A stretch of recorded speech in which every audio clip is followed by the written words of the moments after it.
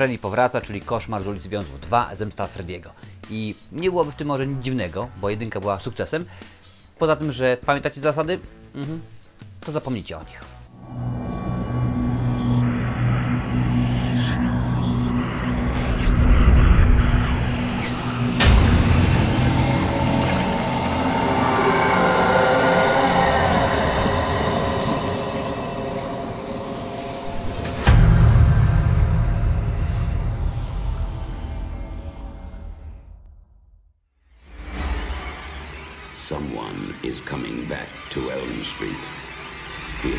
Friendly.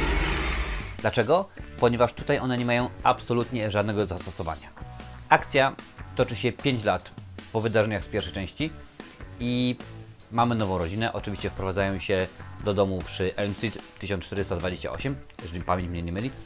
Ważne, ważne dla fanów. Drzwi zmieniły kolor, teraz są czerwone. Niby mała rzecz, a cieszy jednak. Jesse, który jest y, no, naszym głównym, y, nowym głównym bohaterem, zaczyna miewać koszmary. Okazuje się, że Freddy w koszmarach nachodzi go i mówi: Słuchaj, ty masz ciało, ja mam mózg, będziemy zabijać razem.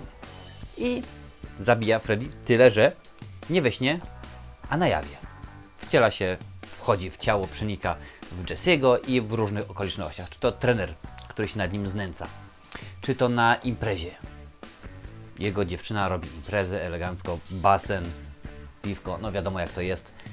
Wszystko super, tutaj nabudowanie, bo są buziaki, całusy i nagle wychodzi Freddy i zaczyna zabijać ludzi. I tak się zastanawiałem, gdzie w tym filmie jest fabuła. He is not patient. Otóż nie ma. Chodzi tylko o to, że Freddy wchodzi faceta, zasady odwalamy na bok, dziękuję bardzo, i zabijamy. I od jednego do drugiego, do trzeciego, koniec. I tak się zastanowiłem, pół sekundy mi zajęło, żeby się zastanowić, czemu Wes Craven powiedział nie, dziękuję bardzo, nie jestem zainteresowany re- reżyserią tego filmu. Ponieważ fabularnie to jest dymno. Otóż tak jak już mówiłem, tylko istnieje, ja rozumiem, że ten film ma tylko istnieć po to, żebyśmy patrzyli coraz nowsze sposoby zabijania ludzi, jakieś bardziej wymyślne, no tak jak Chucky, e, Oszukać Przeznaczenie, Szybcy i Wściekli. Takiego rodzaju filmy, kiedy dochodzimy do części drugiej, piątej, 48, już nie szukamy jakiejś wysublimowanej fabuły, jakichś zwrotów akcji albo czegoś takiego. Nie, my po prostu chcemy zobaczyć fajniejsze morderstwa, y, bardziej wydziewiane itd., itd. Ale niech to do cholery jasnej ma jakiś sens.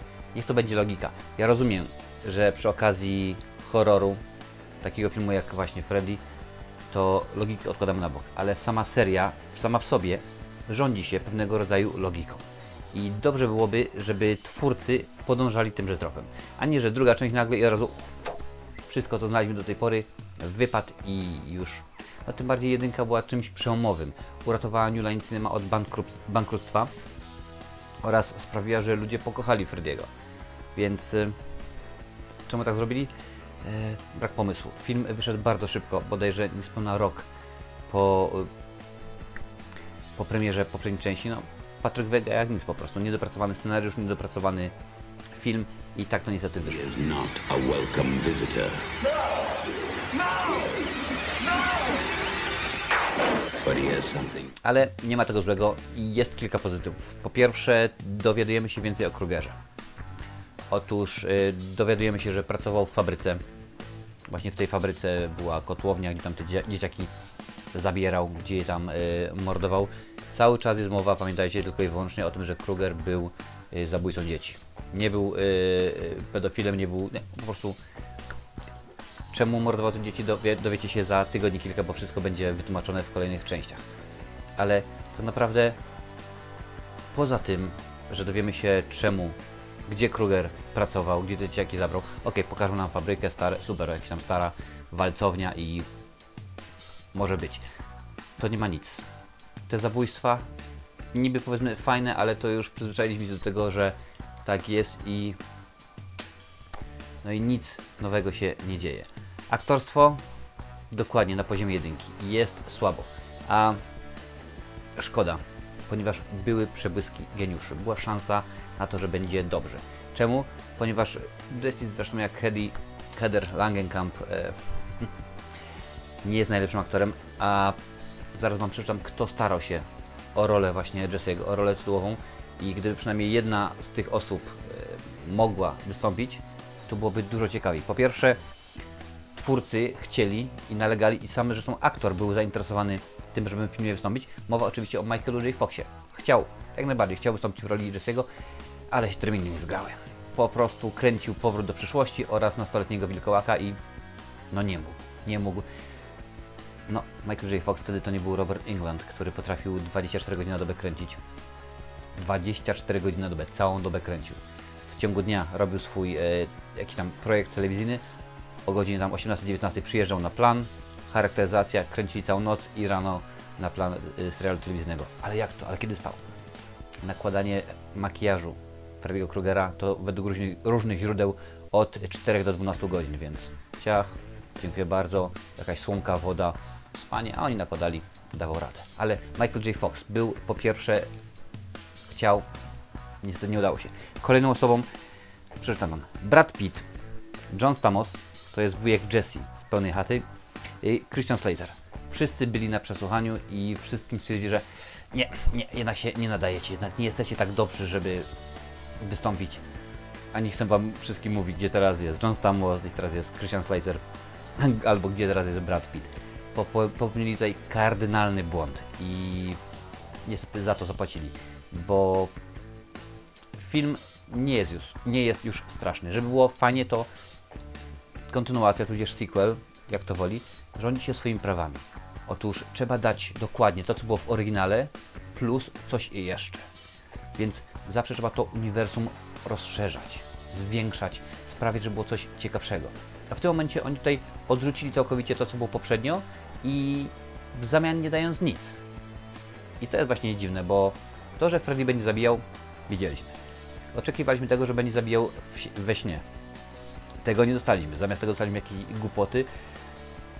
No nie wiem, jak to, jak to tłumaczyć. Naprawdę szkoda. Dla mnie jest to jedna z najgorszych części yy, Koszmaru z ulicy Wiązów. I mówię tutaj również o, o wszystkim, co powstało, czyli o Freddy kontra Jason oraz o nowej wersji yy, Freddy'ego Krugera z 2010 roku. I to jest jedna z dwóch, czyli jak dla mnie przedostatnia, najgorsza część. Bo fabularnie jest dno. Aktorstwo no to już mówiłem, y, że aktorstwo to jest jedyny aspekt, naprawdę, który mi się podoba. I to zresztą chyba w sumie we wszystkich y, filmach z cyklu Koszmar z ulicy Wiązów się powtarza, technicznie. Bardzo wiele jest ciekawych rozwiązań technicznych. Pamiętajmy, film był kręcony y, w połowie lat 80., czyli ponad y, 30 lat temu, a ciągle te sceny tak naprawdę trzymają się kupy. I to jest to właśnie, co Ty, Chris, lubię najbardziej i tylko i wyłącznie za to ten film sobie cenię. Bo tak, na, tak naprawdę prócz tej fabryki, tej kotłowni nie dowiadujemy się nic dobrego. Dokonali twórcy złych wyborów aktorskich. Fabularnie, dobra, fabularnie to nawet nie mówimy y, co tam się działo, bo nic się nie działo specjalnego. I ogólnie wyszło dno, wyszła szmira. Dlatego mm, można by powiedzieć, że druga część będzie jeszcze w porządku. Jak dojdziemy do piątej, szóstej, to już będzie słabo. Nie w tym przypadku. Tutaj przy okazji drugiej części twórcy się nie spisali. Freddy Krueger is back on Elm Street. Ale żeby nie było tego, że tylko film jest zły, że się nie nadaje, jest kilka smaczków, które sprawiają, że ten film jakoś z jednym okiem zamkniętym, drugie przymknięte, można przełknąć. Otóż pokazują nam e, Frediego, to znaczy Robert England, czyli aktor, który wcielił się w rolę Frediego, jest kierowcą autobusu zaraz na początku, więc możecie zobaczyć jak wygląda on, bez makijażu. Całkiem zresztą fajny, całkiem e, przystojny człowiek. Dwa, smaczek numer dwa to kiedy właśnie jedna z ofiar e, morduje, rozmowa między dwoma bohaterami, bohaterami. jeden mówi do, do drugiego he sliced her like kiełbasa, czyli pociachał ją jak kiełbasa, przy używają słowa kiełbasa, gdyż e, w Ameryce akurat, jeżeli mówią się o, o kiełbasie, nie, nie, mówią, nie mówią właśnie e, ham czy coś, kiełbasa to jest tylko i wyłącznie kiełbasa, to jest polska kiełbasa i tak ma być. Zresztą to kolega, e, który mieszkał kiedyś, e, urodził się i wychował w, New Jersey, potwierdził, że, że tak jest. No. Tenacious D, e, Jack Black też śpiewają o, o, mają piosenkę pod tytułem e, Kiełbasa Sausage, więc coś w tym jest. Ale czy to wystarczy, żeby obejrzeć ten film i powiedzieć, ok, ja się będę bał, ja chcę zobaczyć dobre kino, będzie ciekawie? Nie. Tak więc dla fanów y, serii, oczywiście, no, jak najbardziej, wszyscy to muszą zobaczyć. Dla fanów, czy to jest klasyka, no pewnie gdzieś tam trzeba było zobaczyć, ale czy to jest film, który sprawi nagle, że włączycie i będziecie się bali? Jeżeli macie 7-8 lat, to pewnie tak. A w innym przypadku niestety nie, zawiedziecie się. Więc aktorstwo, lipa, fabuła, słabo, straszenie, nie ma. Nie ma czegoś takiego jak straszenie. Tutaj po prostu nie za bardzo się twórcy spisali. Więc oglądacie na własną odpowiedzialność, a ja, krótko mówiąc, odradzam.